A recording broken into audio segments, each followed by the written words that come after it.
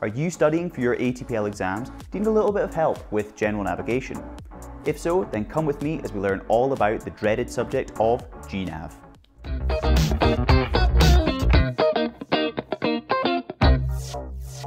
Hi, I'm Grant and welcome to the first in a new series all about general navigation or GNAV. GNAV is often seen as one of the most difficult subjects in the ATPL exams because it contains a lot of mathematics and geometry. But hopefully over the course of this series you will see that it is a lot simpler than it first appears. In this first class we're going to be looking at the Earth and its place within the solar system. First off, let's look at the Earth.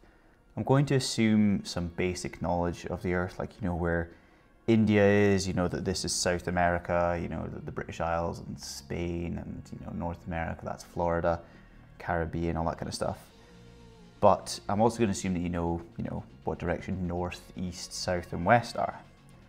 But this is actually where we come across our first problem that requires a little bit more definition. So east in the Western world is generally seen as over the direction where Japan, Korea are, for instance. That is using our reference with you know Europe at the center of that map. To someone from Japan though, east to them is technically the Americas across the Pacific Ocean. So we can't define these directions based on country locations as it changes depending on which country we are in. So to solve this, we say that Earth rotates to the east. The opposite direction is west, and the poles give us an easy way to define north and south. A line from one pole to the other on the Earth's surface in the direction of the top is north and the bottom is south.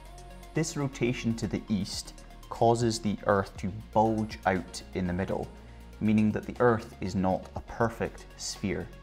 It is actually what is called an oblate spheroid, which essentially means a 3D ellipse. So if you take a cross section of the Earth, you would see something like this. This is obviously very exaggerated. The major axis goes from the equator to the other side of the Earth at the equator, and the minor axis goes from pole to pole.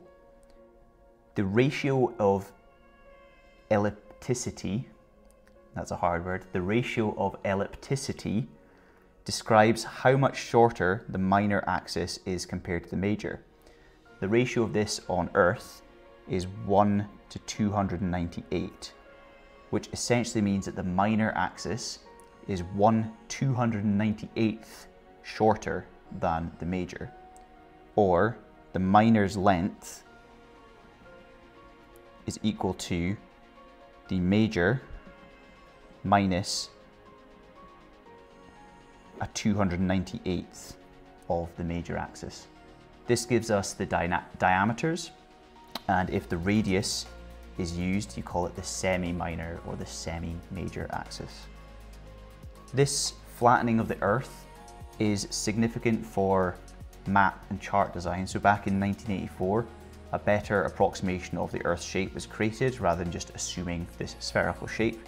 And the World Geodetic System of 1984 WGS 1984 model is used in aviation and it is the shape that the GPS uses and also what is used to create all of our charts today.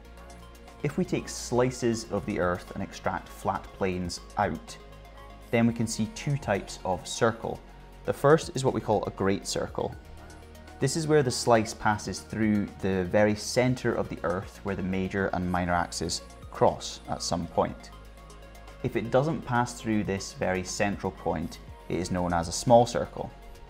Great circles are significant in aviation because if we fly along the line of a great circle, then we are flying the shortest possible distance between those two points. This is only true on a perfect sphere though, so the only places that this really applies on the Earth are lines that pass through the equator and both poles. The shortest distance in real life on Earth between two points is known as a geodesic, and which will be slightly different from the Great Circle because of that squished nature of the Earth. But essentially it's not too far off and you can essentially assume them to be the same thing. The Earth rotates around the Sun on an elliptical plane in the same direction as the Earth rotates, and it does this once every 365.25 days. That is the reason why we have a leap year every four years. That 0.25 of a day every year is taken back to realign our calendar with the actual orbital period. You can think of the Earth rotation as anti-clockwise when viewed from the North Pole, and the Earth will also rotate around the Sun in the same anti-clockwise direction. As it's rotating though, it doesn't do this straight up and down, it does this at a slight angle. So the equator, which is our rotational plane, isn't lined up with the orbital plane. It's set off by 23.5 degrees, or offset, sorry, not set off. This is what causes our seasons and our tropic regions. So in the tropic regions, we have the sun directly overhead at some point during the year and in places outside you will never get this sun being overhead. If you think about the sun, it's massive, so the light hits all of these points. The orbital plane is where the sun's located, so you will only ever get it up as high as this. It can't go higher up when viewed from the Earth. As well as causing these tropic zones, it also causes continuous daylight and uh, night when we're in the Arctic or Antarctic Circle. So if you think about this 23.5 degree sort of offset line, which would pass through here, this angle in here is also 23.5, which means that this angle in here is 66.5 degrees. And that is where the Arctic Circle begins. Just from my rough diagram here, hopefully you can see that the sun is passing over the North Pole and hitting the far side of the Earth. And on the bottom, from about here, we're not getting any sunlight hitting it. That is why you get continuous daylight and continuous night and the, in the Arctic and Antarctic regions during the high points of the summer and the winter. The solstices, solstice, solstices, let's go with solstices, occur in winter and summer or June and December, depending on which hemisphere you're in. They are significant because they are the shortest and longest days of the year. In celestial terms, this is the point where the sun stops moving either north or south when viewed from the Earth's perspective. The sun isn't actually moving at all, but it's just because we are on this um, angled rotation as we start to move round, it appears to um, move its position in the sky, change its position in the sky. It's not actually, it's just the way that we are now viewing the sun is different. So in the June equinox, if we're in the northern hemisphere, we're angled towards the Earth. So we're experiencing a lot more time of rotation within the sun's influence. When we get to September, the equinox in September, the angle is actually insignificant. We're tilted, but we're tilted at such a way that it's not towards or away from the sun. It's kind of parallel to the sun. So it almost becomes not an issue in terms of length of day or length of night. But then when we get around to December in the Northern Hemisphere, we're actually spending more time on the dark side of the sun. And that means that we're getting longer nights. And then when we get round to March, it's the same thing as in September. This angle is neither towards nor away from the sun, it's parallel, so the angle isn't really important. So a very smart scientist or astronomer called Kepler defined a few laws which are important for knowing our place in the solar system. The first of his laws is the orbit of each planet is an ellipse and the sun is at one focus. This basically defines the shape of orbit of all planets. There are variations to the distance between planets and the Sun, and the closest point is known as the perihelion, and the furthest is known as the aphelion. To remember this, I used aphelion being absolutely miles away and perihelion being pretty close. It's stupid, but it did help me remember. Kepler's second law states that a line joining a planet and the sun sweeps equal areas during equal time periods. Basically, what it's saying is this area in here equals this area in here. And that means we've got to travel further distance in here to make up for the shorter lines, essentially. And that means that we actually travel faster when we are closer to the sun, and when we're further away from the sun, we travel slower. To describe positions in space, we use a coordinate system that's very similar to latitude and longitude. The latitude is with reference to our own equator, so it's actually slightly off from the orbital plane because we are always angled at 23.5 degrees to the orbital plane. But basically we use the equator as our zero point, we project that out, and this is known as declination. So the zero degree line is the equator as we said, and you either get north or south of this uh, declination point. So for example, we can say that in the summer, in the northern hemisphere at the summer solstice, that one in July, the declination of the sun would be 23.5 degrees north.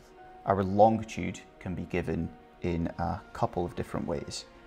The first way is using right ascension from the first point of Aries. The first point of Aries is a datum point which is established from the March equinox. And the right ascension just means we go right from there and you either get um, degrees or time from that point.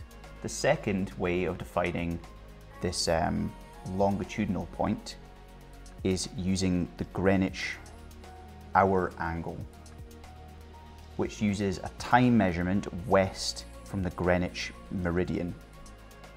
The Greenwich meridian is a line from the North Pole passing through an observatory in London in a place called Greenwich. And that's established as our zero point for longitude. So we basically project that out and that is our new zero point. And then we use a time difference to describe where this point is. So if an object was located at one hour Greenwich hour angle, it would mean that the Greenwich meridian would have passed below it an hour ago. This can be converted into degrees as well if you need to.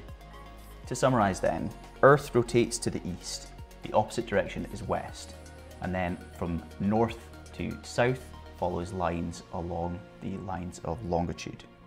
The rotation of the Earth causes it to squish slightly into an oblate spheroid, um, and an ellipse is what you get from the cross section. The major axis, being the longer one, is in the um, equator, and the line from pole to pole is slightly shorter.